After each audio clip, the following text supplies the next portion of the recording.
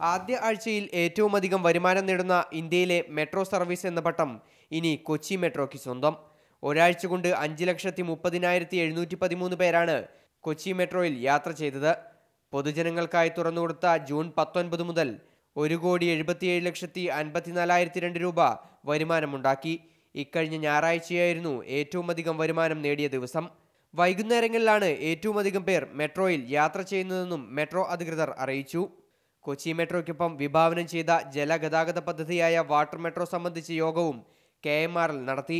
K M R L M D Elias ജോർജിന്റെ നേതൃത്വത്തിൽ നടന്ന ചർച്ചയിൽ വിശദമായ പദ്ധതി രേഖ വിശകലനം ചെയ്തു. സമയബന്ധിതമായി പദ്ധതി പൂർത്തിയാക്കാൻ ആവശ്യമായ മുന്നൊരുക്കങ്ങൾ നടത്താനും തീരുമാനമായി.